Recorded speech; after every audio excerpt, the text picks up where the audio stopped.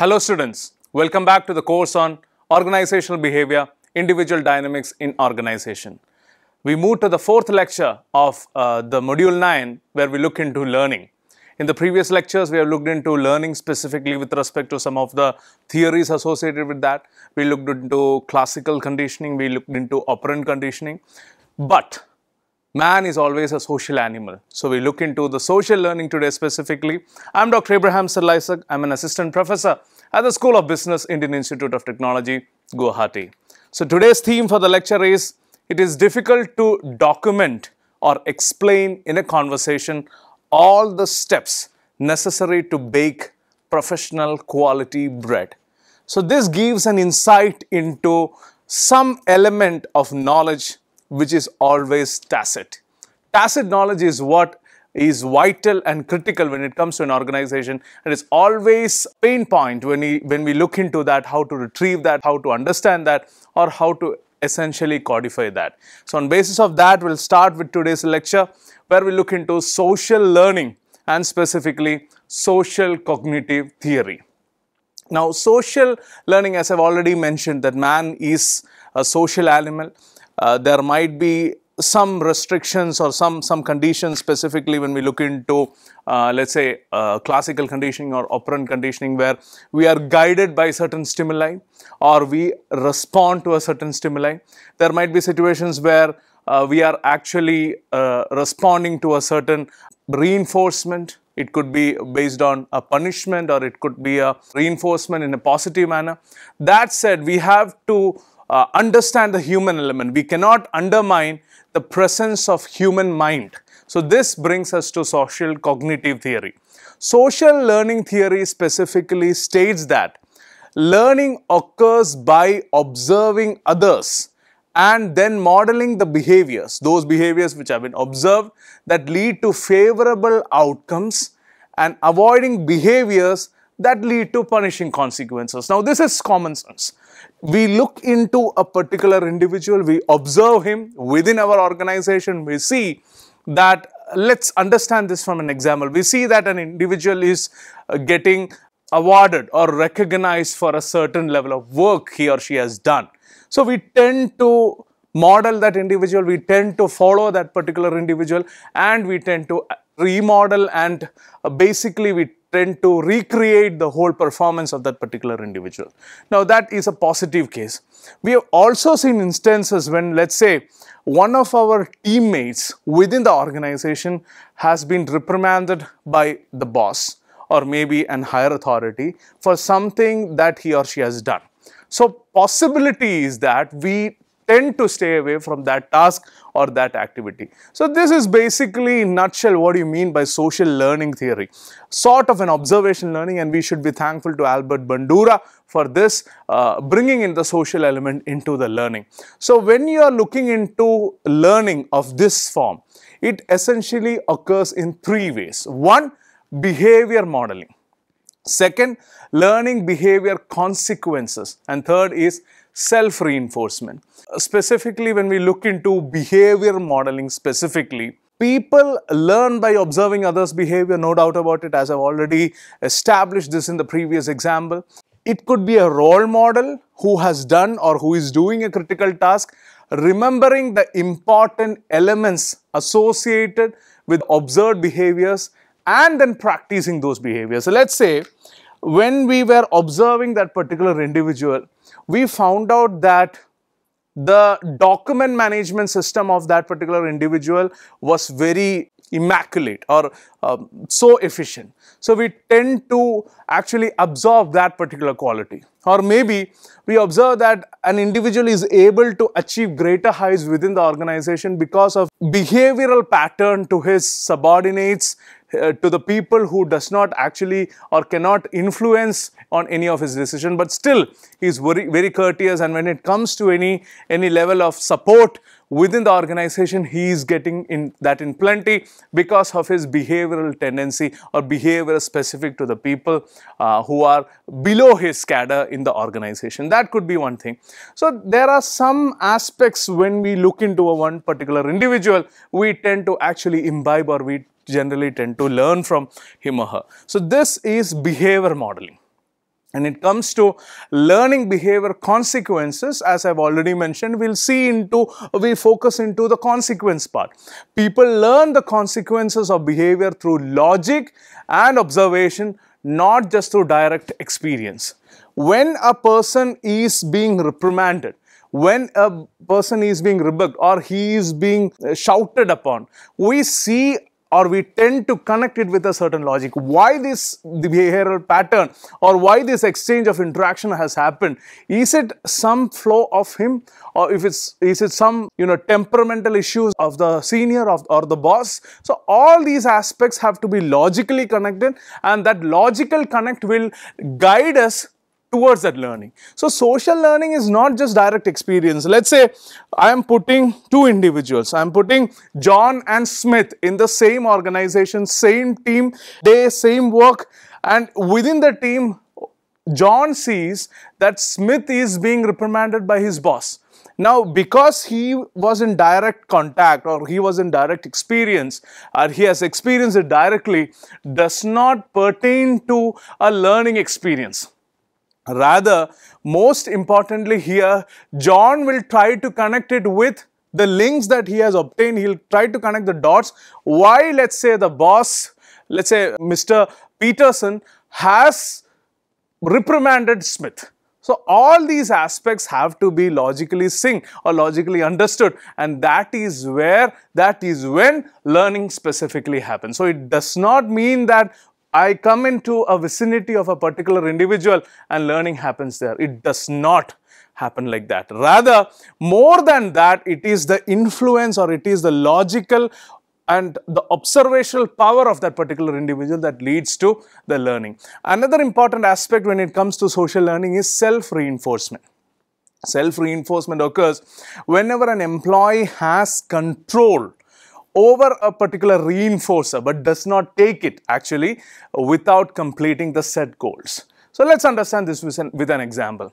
Say you are students and let's say you want to complete an assignment and you have set a goal for yourself that I will not get up from my study table unless and until I complete the assignment. And once I get uh, it done, the, the assignment part, I can actually raid the refrigerator or I can have a cookie or I can have a piece of cake or something like that. So there is some reinforcer or some reinforcement specifically that you have identified, but you are going to take only that when you have a, a, certain level of task accomplishment that is coming to you. This is specifically self-reinforcement. So you have three aspects when it comes to social learning.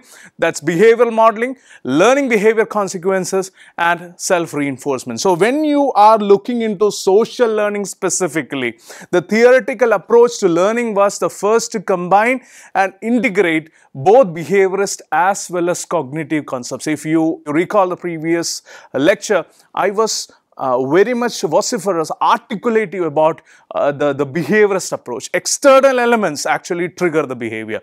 But when it comes to the second part of theoretical understanding in learning, we should understand that cognitive concepts they are also relevant and it emphasizes the interactive, reciprocal nature of cognitive, behavioral and environmental determinants. So, it's not just environmental determinants, it is more of the cognitive element that is coming into picture when it comes to social learning. So, this is something which I, I mentioned in my previous lecture that it is not correct to say that your behavior, my behavior is actually only guided by external stimuli.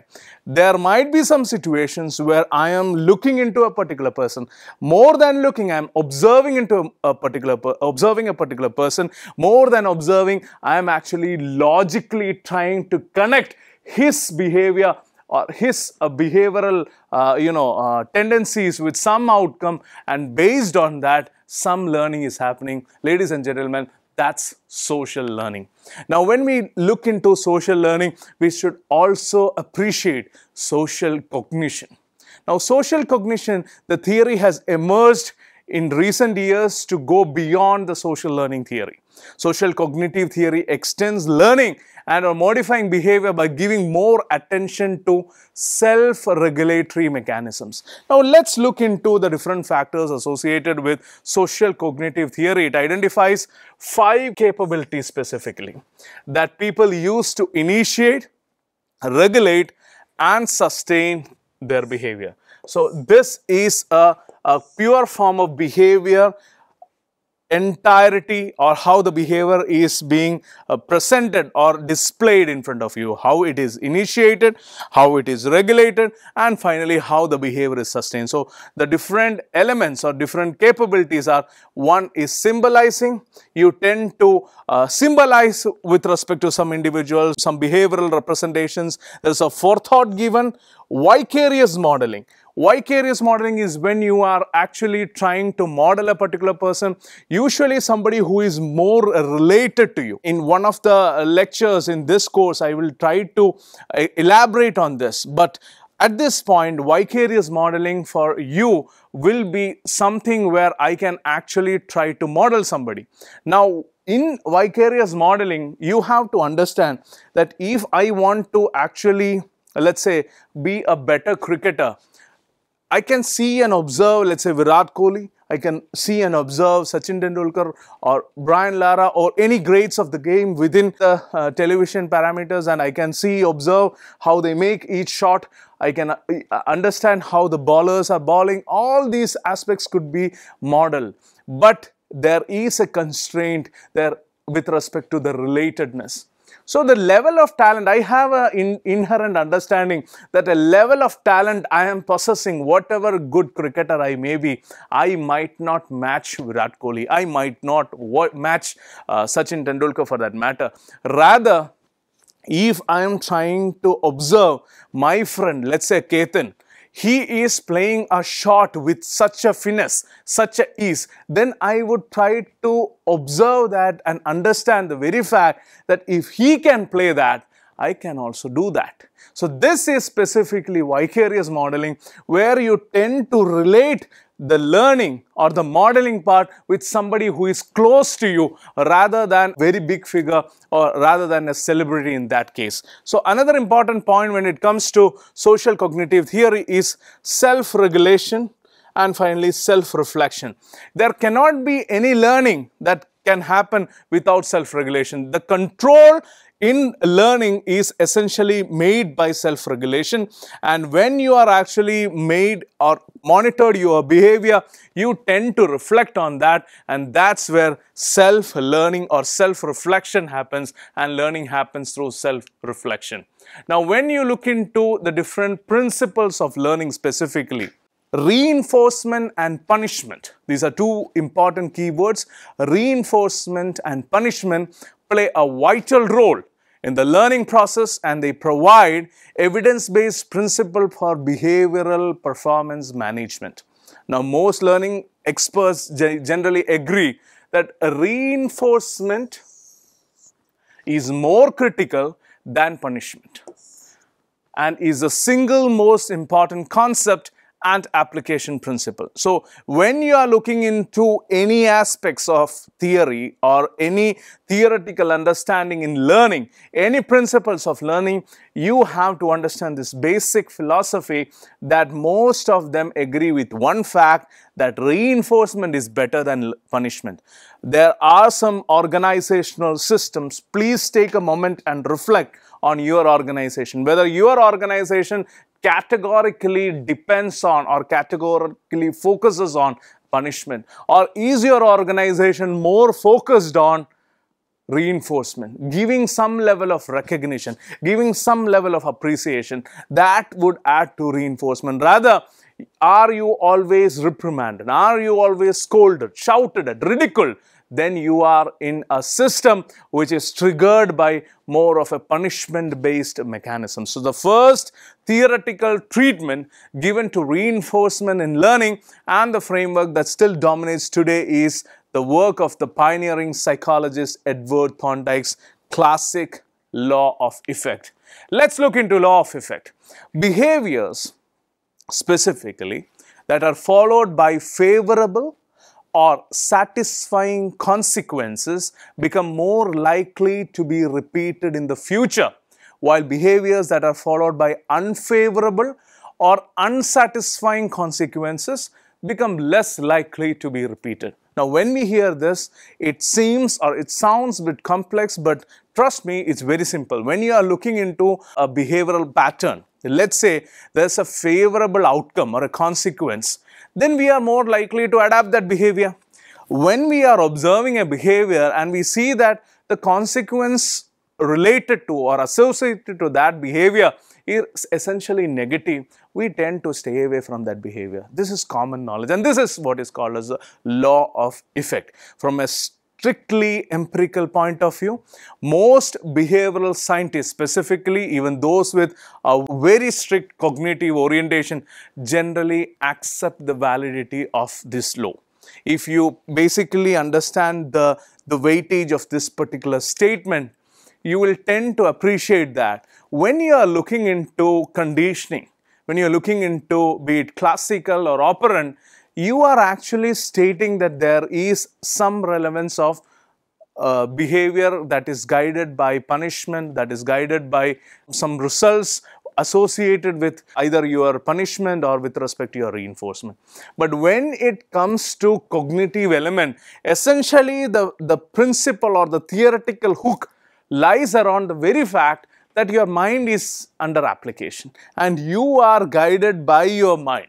But even most of the cognitive theorists who are related to learning or they work in the platform or in the in the sphere of learning they even acknowledge the fact that reinforcement and punishment like that is what is said in law of effect has a certain effect or has a certain impact in the learning no doubt about it. So let's look into some of the key points of the theory.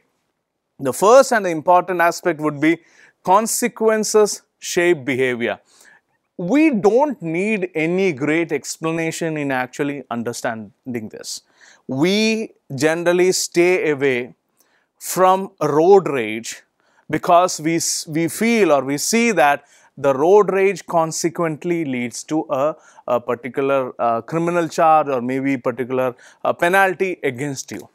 We generally follow traffic rules because we see that if we don't follow, there is a negative consequence associated with that. So this is the learning. Now let's come into organization. We generally tend to finish a work within the deadline for the simple reason that either there are chances that you may be ridiculed, you may be shouted upon or there are chances that your performance is evaluated in a negative way and possibly you are not going to make the cut when it comes to the next promotion. So all these aspects hover around the very fact that consequences shape behavior. You can relate it with n number of examples within your organization. Think for 10 seconds and think of those situations where you have learned and understood that consequences essentially shape behavior. Now let's look into the second aspect which is reinforcement and punishment. Reinforcement and punishment will come into greater detail in reinforcement and punishment specifically. Reinforcement and punishment play a central role in the learning process and provide essentially evidence-based principles for behavioral performance management. So, even which was developed by Skinner, reinforcement theory suggests that behavior can be modified through the use of reinforcements which can be either positive or negative. So, there are certain different positive or negative reinforcement that happens, positive reinforcement happens, negative reinforcement happens, punishment happens and even extinction happens. Before going into the, the reinforcement and punishment because that would be the, the core discussion with respect to this lecture, we also look into other aspects like learning through consequences. So, we, we will visit back reinforcement and punishment in a short while. Learning through consequences, it is nothing but an extension of consequences shape behavior. Once the consequences shape behavior, you tend to behave in a certain way. I don't see that tomorrow there is a chance that you are going to repeat the same behavior. So learning happens through these consequences. Another important aspect is context dependent.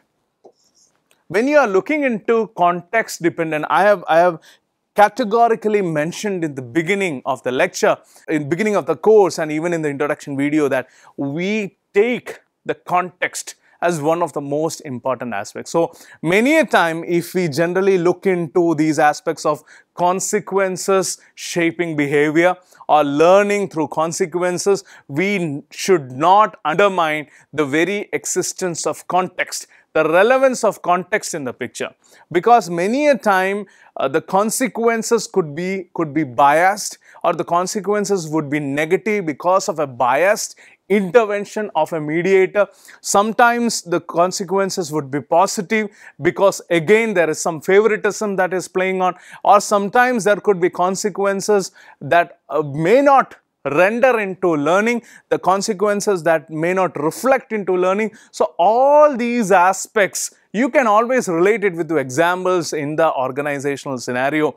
Let's say you are an individual who sees that uh, there is an individual who is the favorite of your boss.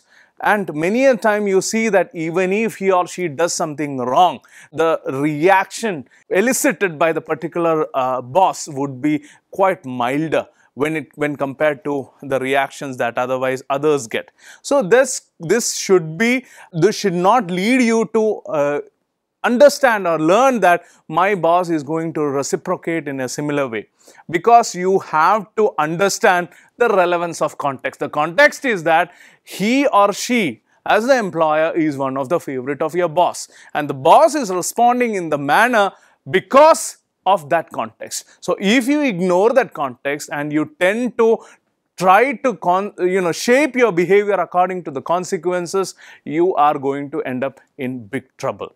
So that would be context dependent. And finally operant conditioning. We cannot discard the role of skinner here because when it comes to reinforcement when it comes to punishment the role of skinner is vital. He has established categorically that behavior to a certain extent can be modified by aspects or elements like reinforcement and punishment. So let's come back to the big discussion that was pending which is positive reinforcement, negative reinforcement, punishment and extinction.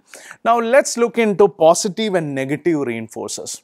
Positive reinforcers are specifically those behaviors or those reinforcers that strengthens and increases behavior by the presentation of a desirable consequence. Now this is interesting. When you're looking into positive reinforcement, essentially you want a desirable consequence.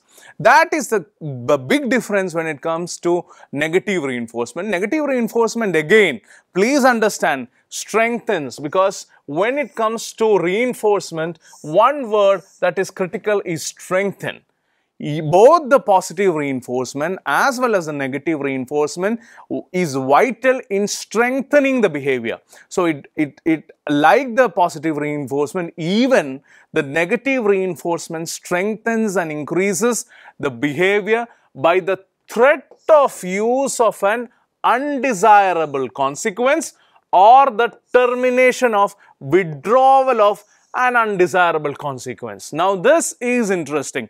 Positive reinforcement, negative reinforcement does not differ in terms of the strengthening part of the behavior. In both the cases, the behavior is strengthened and it increases the behavior. Whereas, when you look into the other aspects, how it is actually being carried out, there is a presentation of the desirable consequence when it comes to positive reinforcement.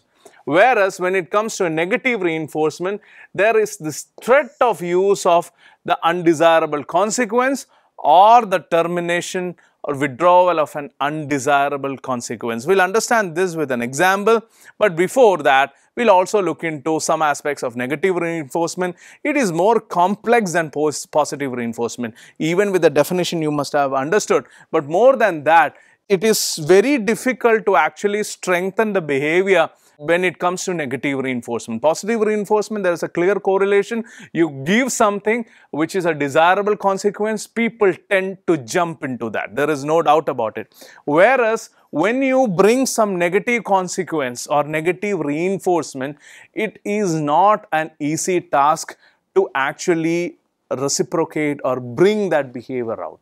So, negative reinforcement undoubtedly is more complex and positive reinforcement, but it should not be equated with punishment. This is a big mistake most of the students make when they come to positive and negative reinforcement. Negative reinforcement is not punishment.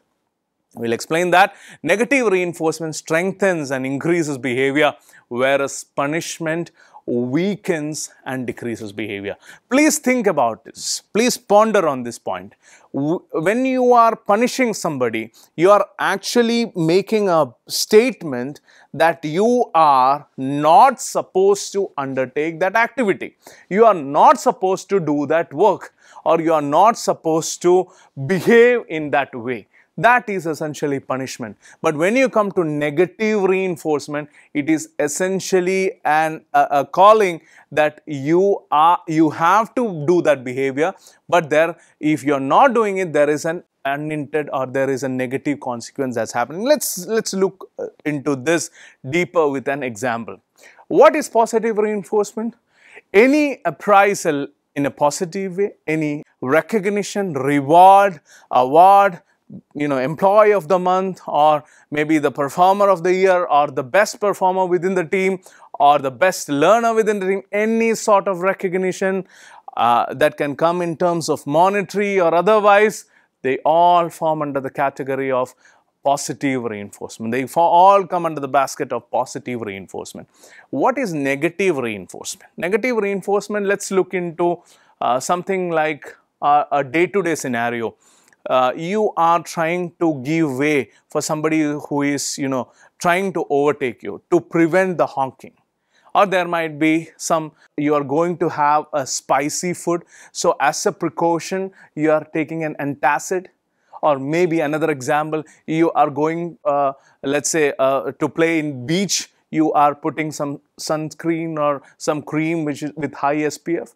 So all these are basically negative reinforcement, examples of negative reinforcement. You are trying to make that behavior, but that either that unintended, that negative consequence is being reminded of or the, the, the very fact that it will be taken back. So this is negative reinforcement. It strengthens and increases the behavior by the threat or use of an undesirable consequence or the termination or withdrawal of an undesirable consequence. So this is negative reinforcement. When you come to punishment it does not strengthen the behavior punishment is specifically given to curb to curtail the particular behavior let's look into the use of punishment punishment is one of the most used but the least understood and badly and administered aspects of behavior management. Let's uh, hear from any, any kids in our family. They will definitely vouch for this particular statement that uh, nobody knows how to actually administer punishment. Punishment is commonly thought to be the reverse of replacement but equally effective in altering behavior. Now, when you are actually looking into punishment from a negative side, it is generally, you know, uh, not considered as desirable, but punishment has its own benefit when it comes to behavioral training, behavioral change. Punishment usually consists of the application of an undesirable or let's say a noxious consequence, but it can also be defined as the withdrawal of a desirable consequence. So if you look into the previous aspect, we had looked into negative reinforcement as the termination or withdrawal of an undesirable consequence. Please don't make a mistake. This negative reinforcement happens to be the threat of the use of undesirable consequence. Moreover, it is the termination or withdrawal of an undesirable consequence. But when you come to punishment specifically, punishment consists of application of an undesirable or noxious consequence. So, this is something which is very important and differentiates punishment from the negative reinforcement. So, it can also be defined as the withdrawal of a desirable consequence which is uh, diametrically opposite to that of a negative reinforcement. So, taking away certain organizational privilege from a manager who has a poor performance record could be thought of or understood as punishment. So, that is an example which we can always relate to as part of the punishment. Now, let us look into the contrasting styles which we see from the textbook. Henry Adams has been a production supervisor for eight years. He came up through the ranks and is known as a tough but hardworking supervisor. Jane Wake has been a production supervisor for about the same length of time and also came up through the ranks. Jane is known as nice, hardworking boss. Over the past several years, these two superiors sections have been head and shoulders above the other six sections on hard measures of performance. When you're looking at hard measures of performance, we are basically looking at number of units produced. This is true despite the almost opposite approaches the two have taken in handling their workers. Henry explained his approach as follows. The only way to handle workers is to come down hard on them. Whenever they make a mistake, in fact, I call them together every once in a while and give them a heck whether they deserve it or not, just to keep them on their toes. If they are doing a good job, I tell them that's what they get paid off. By taking this approach, all I have to do is walk through my area and people start working like mad. Jane explained her approach as follows. You can see a st striking you know, difference here when it comes to her approach. I don't believe in that human relation stuff of being nice to workers, but I do believe that a worker deserves some recognition and attention from me if he or she does a good job. If people make a mistake, I don't jump on them. I feel that we are all entitled to make some errors. On the other hand, I always do point out what the mistake was and what they should have done. And as soon as they do it right, I let them know it. Obviously, I don't have time to give attention to everyone doing things right, but deliberately try to get around to people doing a good job every once in a while. Although Henry's section is still right at the top, along with Jane's section in units produced, personnel records show that there has been three times more turnover in Henry's section. So you can obviously see who is at a better performance than in Jane's section. So we are looking into the turnover and the quality control records show that Henry's section has met quality standards only twice in the last six years while Jane has missed attaining the standards only once. Now this is Jane having missed, not attained, please remember, missed attaining quality standards only once in last six years. So you have a clear winner there, don't you? So this is what the importance of learning is all about. So in this particular lecture, we looked into the theories in a more deeper fashion. We had a clear understanding of where we stood in terms of uh, the conditioning, classical, operant. We had a clear understanding of what came in as a stimulus response theory. But we cannot undermine the existence of human element. We cannot understand, uh, undermine the existence of the cognitive element. So this is where we are thankful to Albert Bandura in bringing the social learning aspect. Social cognitive aspect took it one step ahead. So all these aspects are vital when it comes to organizational learning, when it comes to learning of an individual within an organization. So all these elements have one thing in common that is reinforcement as well as punishment. You cannot take that thing outside.